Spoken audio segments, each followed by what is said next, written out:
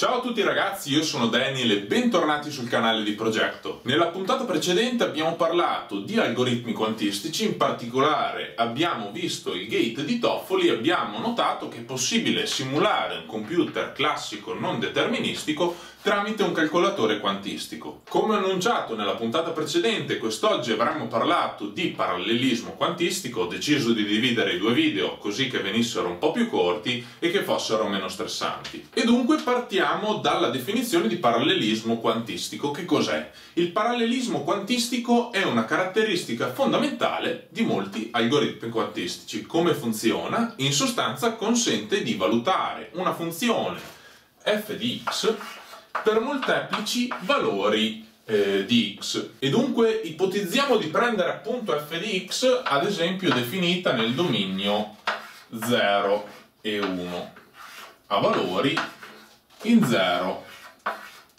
e 1 questa qui è una funzione con dominio e codominio contenuti nell'intervallo di valori di un solo bit. Un modo conveniente di calcolare questa funzione su un computer quantistico è di considerare un computer quantistico a due qubit e quindi questo computer quantistico parte dallo stato x, y.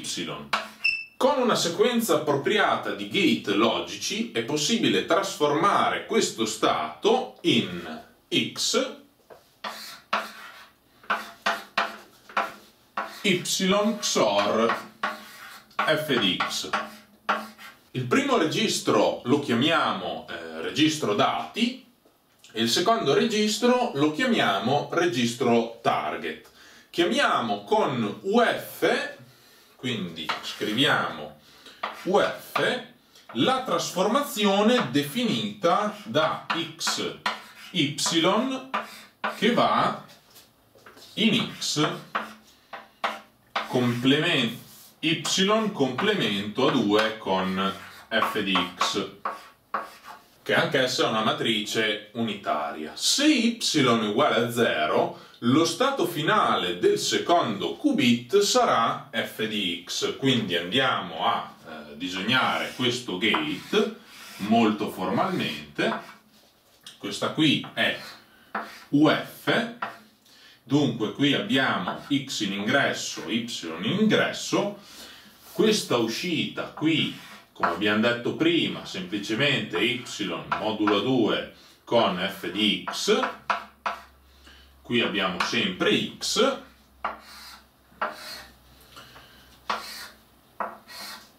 quindi qui ipotizziamo che x sia 0 più 1 su radice di 2, quindi superposizione, e y sia 0. Il risultato in uscita è V. Quindi tale circuito applica UF ad un input che non si trova in uno stato computazionale di base. Il registro dati viene preparato in superposizione, quindi X viene messo in superposizione tramite un gate di Hadamard che segue uno 0, quindi in sostanza abbiamo, eh, imponiamo lo stato iniziale a 0 e poi applichiamo un gate di Hadamard. Successivamente, e ora dovrò scriverlo in questo spazietto, eh, viene applicata UF allo stato risultante, quindi si va ad ottenere eh, 0,f di 0 più 1, virgola, f di 1, questo qui si, ve si vedrà male però è un 1, tutto fratto radice di 2, comunque sì, cioè è molto semplice, abbiamo preso lo stato di superposizione, qui abbiamo eh, al posto dello 0 abbiamo 0 f di 0 e al posto dell'1 eh, 1 f di 1 con la somma, tutto fratto, radice di 2. Questo qui è uno stato notevole. I termini differenti contengono informazioni su entrambi f0 e f1. È come se avessimo valutato f di x per due valori di x contemporaneamente. Una caratteristica conosciuta come parallelismo quantistico. Questa procedura può essere generalizzata su qualsiasi funzione, ovviamente. Con un numero arbitrario di bit e questo sfruttando un'operazione che si chiama trasformata di Hadamard oppure anche trasformata di Walsh Hadamard. Ora vado a cancellarvi la lavagna perché andremo a vedere come è fatta questa trasformata. Dunque questa operazione è semplicemente un n Hadamard gate, quindi penso abbiate già capito se avete seguito tutto il corso che sto eh, condividendo in questa playlist. E in sostanza questo calcola in parallelo n qubits applicando il gate di Hadamard a ciascuno di essi, no? Nel caso di n uguale 2, inizialmente preparati ovviamente a 0, abbiamo dunque 0 più 1 fratto radice di 2 e di nuovo 0 più 1 fratto radice di 2. Questa operazione, quindi questo prodotto, ci dà 0, 0 più 0, 1 più 1, 0 più 1, 1. Tutto fratto, naturalmente, radice di 2.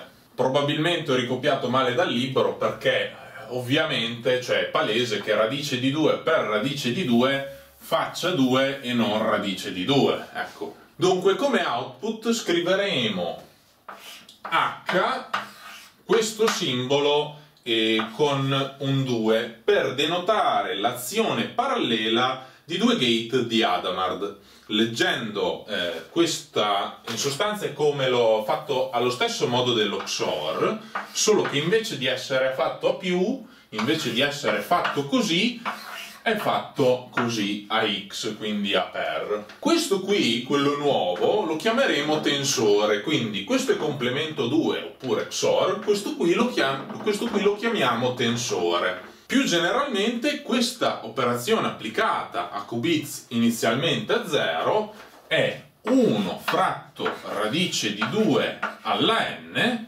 sommatoria in x di x che è uguale ad h tensore di 2 e anche qui palesemente dall'errore di prima siccome abbiamo 2 qubit 2 al quadrato radice di 2 è uguale a un mezzo. E sempre da qui notiamo l'errore di prima perché radice di 2 qui abbiamo 2 qubit 2 alla 2 radice di 2 ovviamente fa 2 in ogni modo, riprendendo la formula, questa somma è svolta su tutti i possibili valori di x. La trasformata di Hadamard produce una superposizione uguale su tutti gli stati computazionali di base. Inoltre lo fa in modo estremamente efficiente, producendo una superposizione di 2 alla n stati usando n gates. Quindi in sostanza qui abbiamo due gate di Hadamard. La valutazione parallela quantistica di una funzione con n bit, x input e un output, quindi f di x, in questo caso eh, intendo, può quindi essere svolta nel modo seguente. Si prepara n più 1 qubit allo stato 0. In realtà sarebbe per dirli tutti 0 tensore n. E poi si applica la trasformata di Hadamard ai primi n qubits, seguita da un circuito eh, quantistico che simula UDF. Questo produce lo stato che vi vado a scrivere eh, qui perché non ho più spazio, in sostanza lo stato prodotto è 1 su radice di 2 alla n, somme in x, eh, simbolo di Dirac di x con simbolo di Dirac f di x in questo modo. Dunque, in un certo senso, il parallelismo quantistico ci dà la possibilità di valutare contemporaneamente tutti i valori di f di x, anche se f di x l'abbiamo eh, eseguita apparentemente una sola volta. Nonostante ciò, questo parallelismo non è proprio utile nell'immediato, perché nell'esempio con un singolo qubit la misurazione degli stati fornisce soltanto o 0 f di 0 o 1 f di 1 e in modo simile accade per somme in x di x f di x ovviamente e ovviamente anche un computer classico riesce fare la stessa operazione, quindi a fare queste operazioni, calcolare f di x per più valori di x contemporaneamente. In ogni modo la computazione quantistica necessita più del solo parallelismo per dimostrarsi utile, nel senso che va bene, io posso fare più calcoli contemporaneamente, ma questo diventa davvero utile se io posso estrapolare tutte le f di x calcolate contemporaneamente sempre nello stesso momento.